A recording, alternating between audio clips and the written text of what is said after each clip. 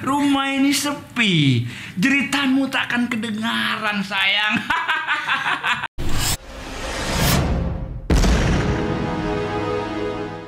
ya.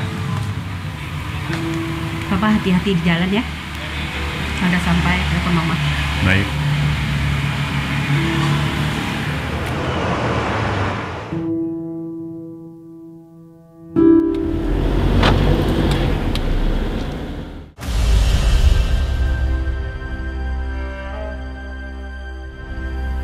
Saya sering melempar hewan-hewan tersebut. Bahkan saya ikat.